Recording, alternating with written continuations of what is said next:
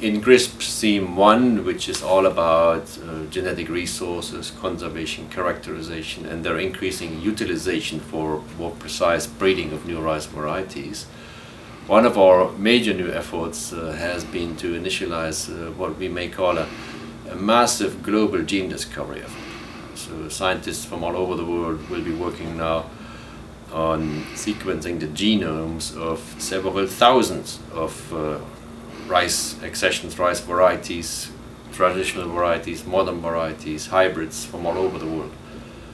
And that will be done uh, in collaboration particularly with uh, institutions in China, but also other institutions within the GRISP network.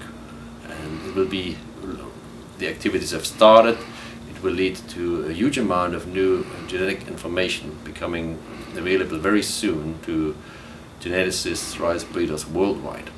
So I think uh, an undertaking like this uh, would have been very difficult without GRISP and we're very happy that first activities have been started in 2011.